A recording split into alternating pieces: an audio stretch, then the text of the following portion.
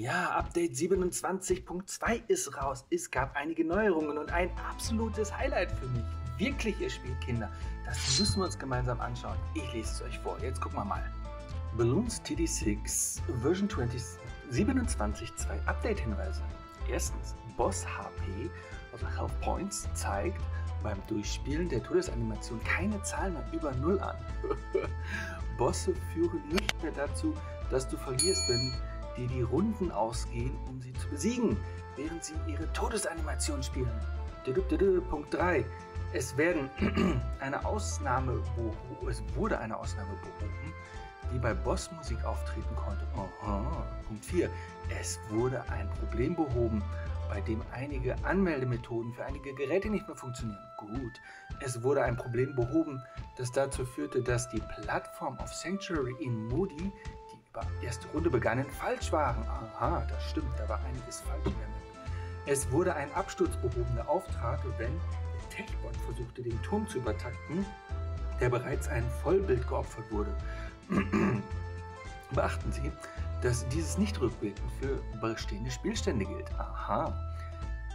Siebtens. In einigen Fällen wurde ein Problem behoben, bei dem Brickles Semi-Balloons nicht mehr angreifen konnten, nachdem ein Spielstand neu geladen wurde. Aha.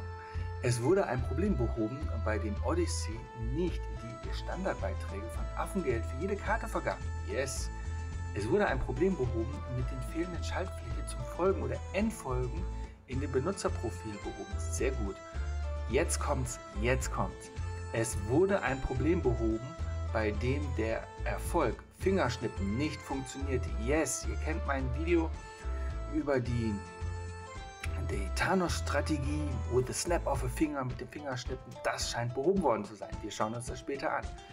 Weiter, es wurde ein Problem behoben, bei dem Level-Ups verschiedene Softlocks verursachten, wenn sie zur falschen Zeit auftraten.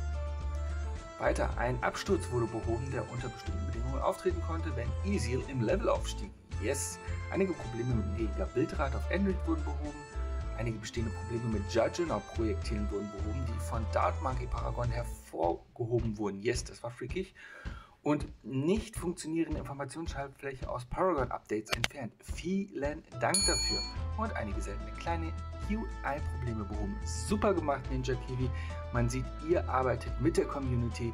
Vielen Dank dafür. Vielen Dank fürs Zuschauen und seht hier, ob das jetzt wirklich funktioniert. A snap of the finger mit dem Fingerschnipsen, ob man dieses Achievement jetzt kriegt. Wir versuchen es gleich. Bis dann. Ciao.